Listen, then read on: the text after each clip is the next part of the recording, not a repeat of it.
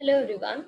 Uh, so the next lecture for next series, this series of soft computing is uh, the topic that is auto-associative memory and its numerical.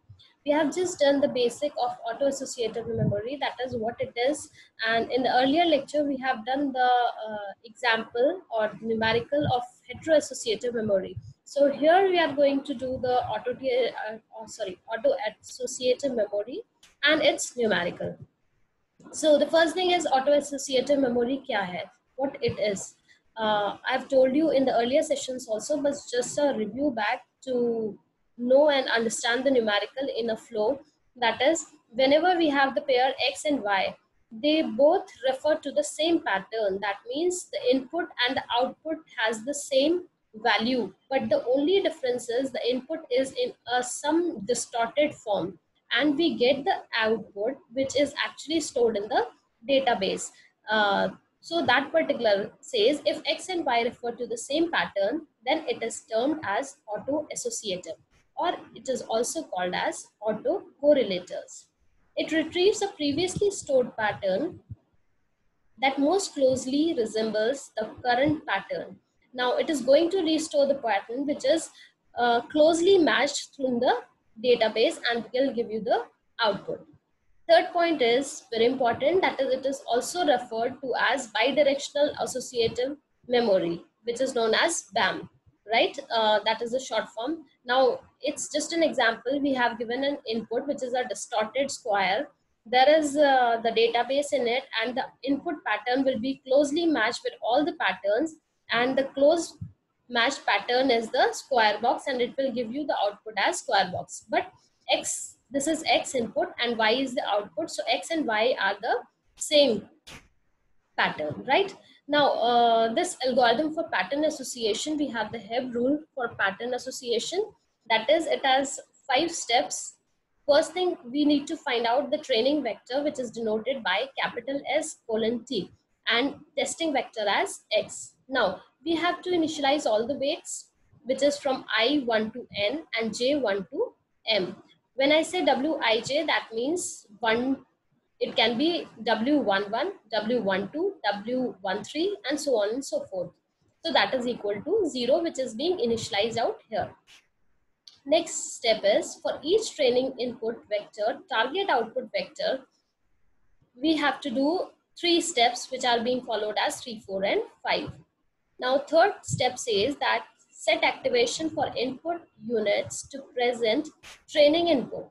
Now what I have to do is I have to set the input uh, unit to present the training input. So that is x is equal to the SI. And fourth point is set activations for output units to correct target output, which is yi and that defines the output and the correct target that is the TJ. Now, next thing is we all know that is when I define the uh, output, we have to match the output and get the error. According to error, we need to adjust the weights. So what is the adjustment of weights? Wij new will be equal to the earlier one that is Wij old plus Xi Yi that is the pair. Now, uh, we are just going to understand this uh, algorithm completely because this this is just a written theory and we can implement it with the help of a numerical that will make you understand in a better way. So the example I have taken for auto-associative network is, let's say use the Hebb rule to store the vector. We have given the vector as 1, 1, minus 1, minus 1 in an auto-associative neural network. What we have to find is find the weight matrix, first point.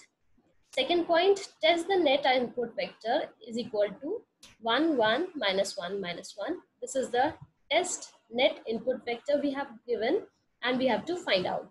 Next is test the net with one mistake in the input vector.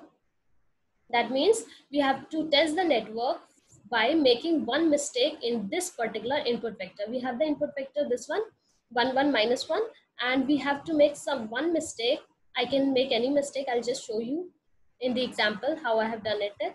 Okay, so first let us find the weight. How we are going to find the weight. We all know uh, to initialize the weight using outer product Hebb rule, which we studied earlier in the earlier session. that is the weight will be equal to W is equal to transpose of SP into S uh, TP, right? This is the formula. W is equal to transpose of SP TP. So what I need to do is STP is given to me and TP is given to me.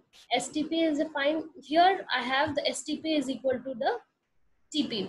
It can be, uh, it is same. Why it is same? Because we here, this is the auto associative network. I have already defined that XY will be of the same pattern. So that is why this is the same. If it would have been the hetero-associative, then the patterns would have been different because X and Y are two different patterns. So here we have the same pattern. Now SP is equal to 1, 1, minus 1, minus 1 and TP is equal to 1, 1, minus 1, minus 1. What I need to do is to find the weight, I am going to make the transpose of this vector and multiply it with the TP. So I know what is the transpose of this vector. I'm going to make the column as the row and row as the column. We all know how to make the transpose. So iska transpose will be this one. This will be converted into this column. one column and four rows. Here it was one row and four columns. So it will be now one column and four rows. So it will be 1, 1, minus 1, minus 1 and TP will be the same 1, 1, minus 1, minus 1. Now what I have to do is I have to do the matrix multiplication. We all know how to do matrix multiplication. So I'm going to find out the matrix multiplication and I'm going to get the result as this one. So this is the weight for me, right? For this particular neural network, uh, auto associative neural network, the weight will be this one.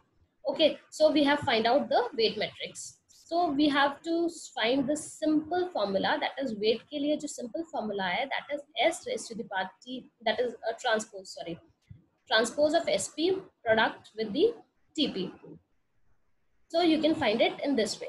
Second uh, part of this example says test the net input vector is equal to 1, 1, minus 1, minus 1. Now what I have to do is I have to test this input to perform in this.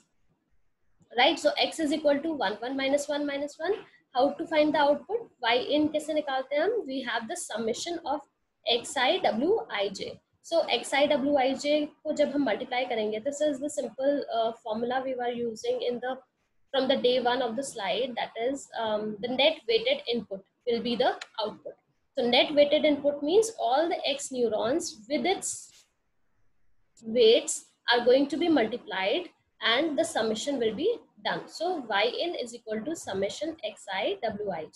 So xi we all know that is 1 1 minus 1 minus 1 w ij we have already uh, you know calculated in the first for the a section. That is this is the weight matrix. So what we are going to do is we are going to find the product again and this will be the product 4 4 minus 4 minus 4 now i can see that is you have a threshold that is activation function. When y is being passed through the activation function we get the final output. Now this particular is whenever we have the value which is greater than 0, the answer will be 1. If it is less than 0, it, the answer will be in, you know, 0.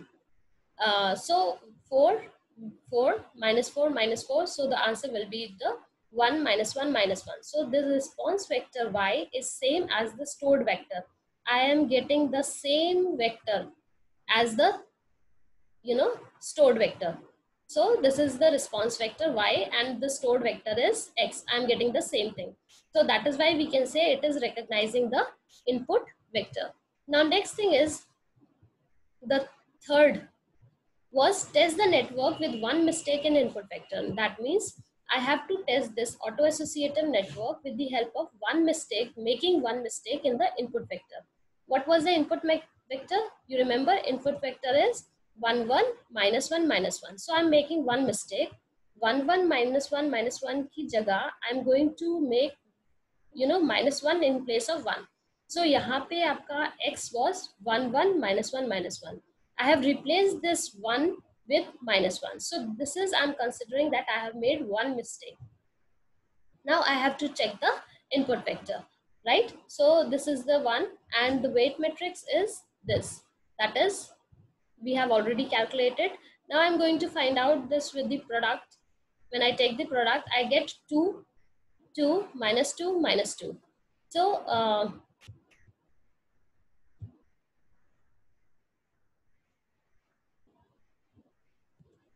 so uh, this particular is the product. So, I'm finding the product of this. Okay, uh, so the product of these two will be what?